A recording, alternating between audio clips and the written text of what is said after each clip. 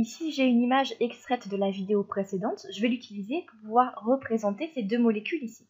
Je vais commencer par la molécule de gauche. Donc je vois qu'au centre, là, j'ai un carbone central, cette boule noire ici. Donc j'ai mon carbone central qui va être lié dans un premier temps avec cette liaison ici qui est dans le plan de l'écran et qui est vers le haut à un atome d'hydrogène. Donc je représente ma liaison comme ceci, elle est bien dans le plan de l'écran, l'atome d'hydrogène. Ici à droite, j'ai également une liaison qui est dans le plan de l'écran avec un atome de chlore, représenté par cette boule jaune ici sur le modèle. Donc j'ai ici ma liaison avec l'atome de chlore. Vers moi, pointe vers moi ici, vers l'avant, une boule rouge qui représente un atome de brome. Donc je le représente par, comme ceci, un triangle plein avec le brome. Donc ça représente cette liaison ici. Et enfin, la dernière liaison, c'est avec la boule verte qui est à l'arrière du plan, qui est un atome de fluor. Donc là, je la représente par un triangle en pointillé, un atome ici de fluor. Voilà pour ma molécule de gauche. Si je regarde ma molécule de droite ici, c'est donc l'image de cette molécule dans un miroir.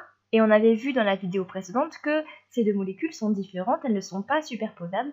Il s'agit bien de deux molécules complètement différentes. Donc pour la représenter de la même manière, je commence par l'atome de carbone central ici, qui est lié également avec une liaison vers le haut et dans le plan de l'écran à un atome d'hydrogène, que je représente de la même manière. Vers la gauche cette fois, j'ai ma liaison dans le plan avec un atome de chlore, donc je représente comme ceci, l'atome de chlore. Vers l'avant, donc pointe vers moi, la boule rouge, c'est-à-dire l'atome de brome.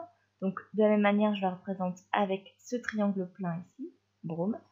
Et on voit vers l'arrière du plan ici une liaison avec un atome de fluor que je représente par une liaison en pointillé ici. On va utiliser ces deux molécules pour donner trois définitions. je vais descendre pour voir les définitions. Donc la première définition, c'est la définition des stéréoisomères. Les stéréoisomères, ce sont des isomères qui diffèrent par l'agencement spatial des atomes qui les composent. Alors tu te souviens, on avait déjà vu dans des vidéos précédentes que le mot isomère provient de deux mots grecs iso pour dire identique et mer pour dire partie. Donc ce sont donc des molécules qui ont en fait la même formule brute. Et on avait détaillé notamment ce qu'étaient des isomères de constitution. Donc des isomères de constitution, ce sont donc des molécules qui ont la même formule brute, mais des formules développées qui vont être différentes. Ici, si j'écris la formule développée qui correspond à ces molécules ici, je vais avoir un atome de carbone central qui va être lié à l'hydrogène, à un fluor, à un brome et à un chlore. Mais cette formule ici, qui est en fait la formule topologique, elle correspond à la fois à la molécule de gauche et à la molécule de droite.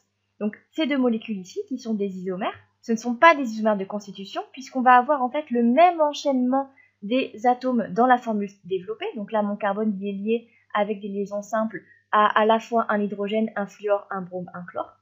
Donc les formules développées sont les mêmes. Il ne s'agit pas d'isomères de constitution. Ces molécules diffèrent en fait par l'agencement spatial des atomes qui sont les substituants de ce carbone. Et c'est ce qu'on appelle des stéréoisomères. Stéréo pour indiquer qu'on a une différence dans l'espace. On va maintenant donner une autre définition qui est celle des énantiomères. Des énantiomères, ce sont des stéréoisomères qui sont images l'un de l'autre dans un miroir et qui ne sont pas superposables. Donc on avait vu dans la vidéo précédente qu'effectivement ces deux molécules ici étaient bien images l'une de l'autre dans un miroir. De toute façon, je les ai dessinées à partir de l'image de la molécule de gauche se reflétant dans un miroir pour donner la molécule de droite.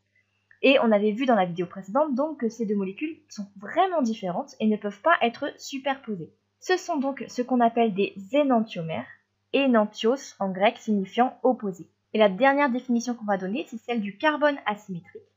Un carbone asymétrique, c'est un carbone tétraédrique, donc il y a un environnement spatial tétraédrique qui est lié avec quatre liaisons simples à d'autres atomes. Il est donc hybridé en sp3 et il a la particularité d'avoir quatre substituants. Quatre substituants différents. Si je regarde ce carbone ici, il est effectivement lié à un hydrogène, un fluor, un brome, un chlore. C'est donc un carbone asymétrique.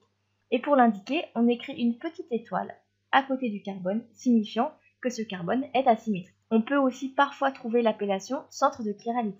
Dans cet exemple ici, on a un carbone asymétrique dans la molécule, ce qui nous donne deux stéréoisomères. Et de manière générale, on a une formule qui nous dit qu'on a deux puissance n stéréoisomères, n étant le nombre de carbones asymétriques dans la molécule.